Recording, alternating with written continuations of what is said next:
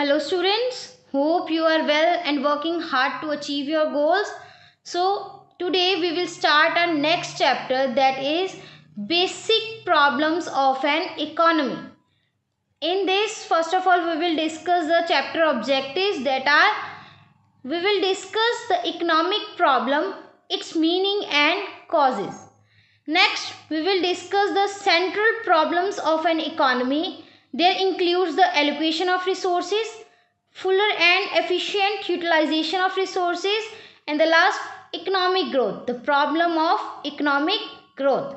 Then we will discuss the production possibility curve, its meaning, assumption and characteristics. The last topic there we will discuss central problems and the production possibility curve.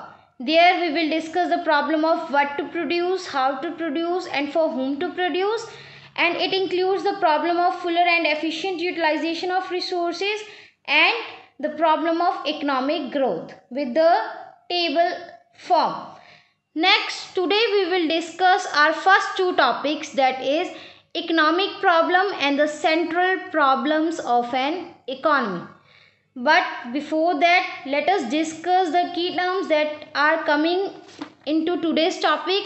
First one is labor intensive techniques like example agriculture mining hospitality and the food service.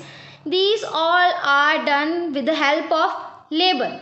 So we can say that labor intensive techniques are those techniques that use the labor.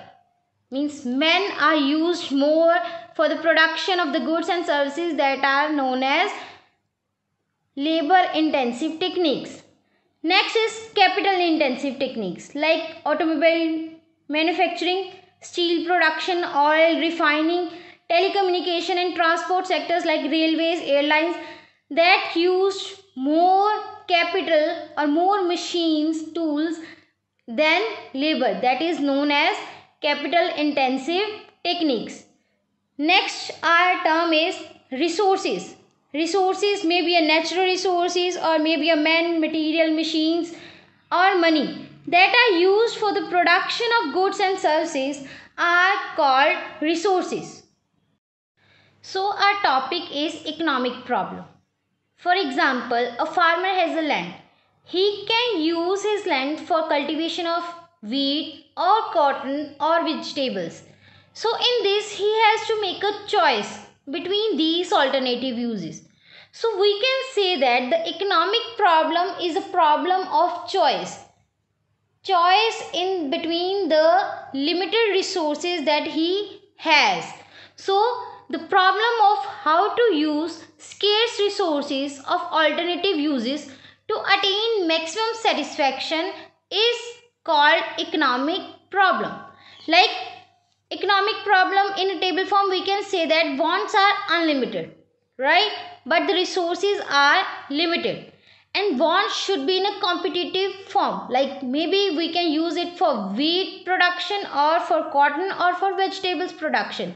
So it is a competitive that even every production gives him a return in form of money. So likewise resources have their alternative uses so there arises the problem of choice. So this is known as the economic problem. So next our topic is causes. In the causes, first one is unlimited wants.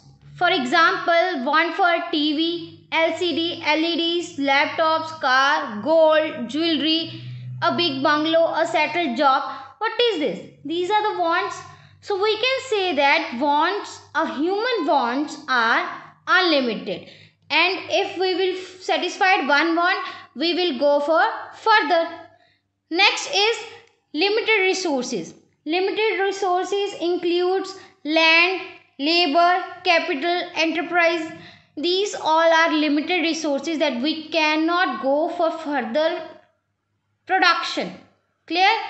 Next is resources have alternative uses like land. Land used for production of wheat, maybe rice, vegetables, fruits.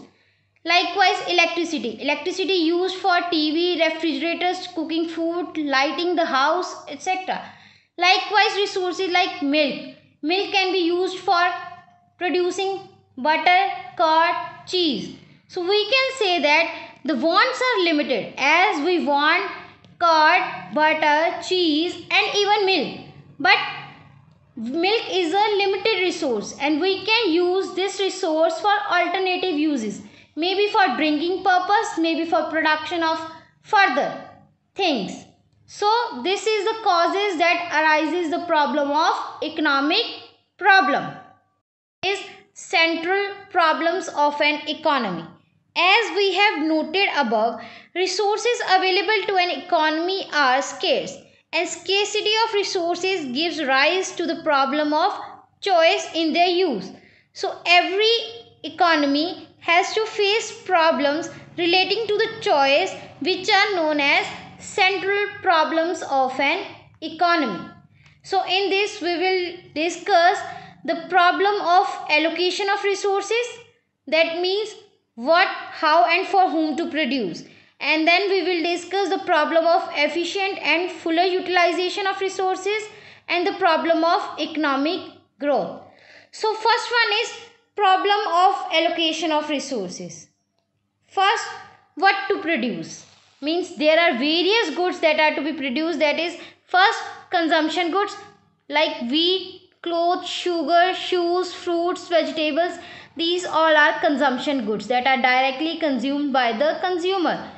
Next is the capital goods like machinery, tools, equipment, raw material that are produced for further production of the goods and services. Next is the civil goods like watches, radio, TV, cycle, etc. Likewise, we can produce military goods like guns, bombs, tanks, etc. Now, even the goods are divided into the necessities of life and the luxurious goods. Necessities of life it includes food, shelter and the clothing and the luxury goods it includes car, color TV, laptops, iPhone. So in this the producer has to decide that what type of goods he has to produce and in what quantities. Means there he see the demand in the market so accordingly he can produce the goods. Next the problem is how to produce. And in this the second decision the producer has to take the regarding the allocation of resources relate to the choice of techniques. Techniques for production that is labor intensive techniques and the capital intensive techniques. In the labor intensive techniques, we use more labor than the capital resources. And the, in the capital intensive techniques we use money machines tools equipment and less labor. So in this the producer has to decide that what type of techniques he has to use for production of the goods and services. Next the problem is for whom to produce. Means for whom to produce it includes the consumption of the resources by the consumers. And consumers it includes a rich middle or a poor class of people. So the producer has to decide that what type of goods is to be produced and what type of uh, consumers. In this it includes the different groups of the society that is rich poor or middle and it includes the present and the future generations. So like present and future generations it includes if an economy produces consumer goods like wheat right milk or something else that is used for the present generations and that are consumed by the present generations but if an economy produces producer goods like machines tools then these are used for future generations or that are used for further production. So in this if the producer decide to produce consumer goods then less resources are available for producer goods. And if the producer decides to produce producer goods then there will be less resources available for consumer goods so the problem arises due to the scarcity of resources so producer has to decide for whom to produce maybe for different groups of society and in the different groups of societies it includes the present and the future generations. Next, it includes the problem of fuller and the efficient utilization of resources.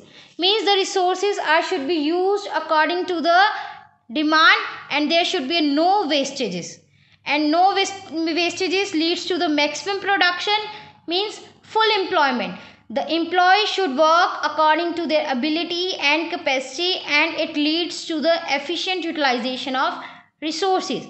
So there is the problem arises for employment means maybe unemployment or underemployment. There should be a full employment situation so that the employees should use fuller capacity and ability to produce the goods and services then this problem is reduced. The last problem is problem of economic growth. Every economy of the world is now faced with the problem of economic growth.